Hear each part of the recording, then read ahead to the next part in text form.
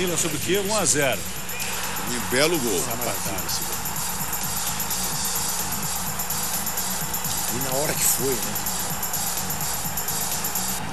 Gol de número 2, Cristiano Ronaldo. Cobrança de falta. Todo meio de saco cheio do Cristiano Ronaldo. Dom, eu não sei, é uma certa implicância, não, não, não me diz mais nada. Sabe aquela coisa? E esse Esse, gol? esse, E esse gol? hein? E esse Ah, gol? do Barcelona. Esse eu não tô de saco cheio. Esse, esse é um fenômeno. Pode que o Cristiano Ronaldo 3 a 0 é em cima do Valência.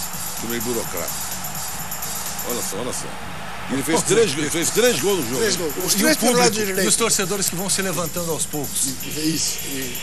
Gol de número 4, Zé Roberto do Hamburgo. Ó, Bonito. Bonito. Gol de quem sabe. derrota, derrota, derrota pro Bayer Leverkusen. 4 a 2. Ah, tá espetacular. Gol Bayern, consciente, né? Schalke e Bayer Leverkusen é dois pontos. Olha o goleiro, olha o do goleiro. O A goleiro. Fiorentina vencia o Napoli por 2 a 1. O goleiro foi pro ataque e olha o contra-ataque. Jovetic. Quem faz o gol, o passe é o Babacar. O Babacar não é o goleiro, é quem faz o lançamento. Mas tem tudo pra ter um babacá. O goleiro é De Santis, que vai à Copa do Mundo como reserva da Itália. Muito bem, aí a relação dos Ah, eu começo, vou votar no Messi.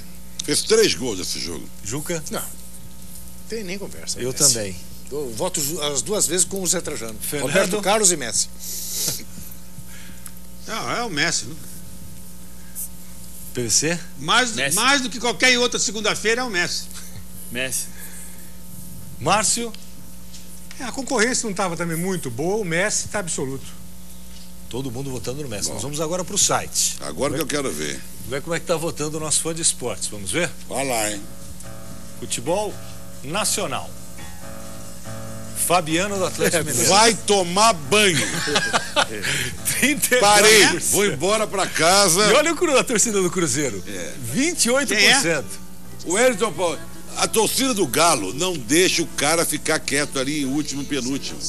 O Paulinho tá com 3%, coitado. Roberto Carlos tem 13, Robert tem 16.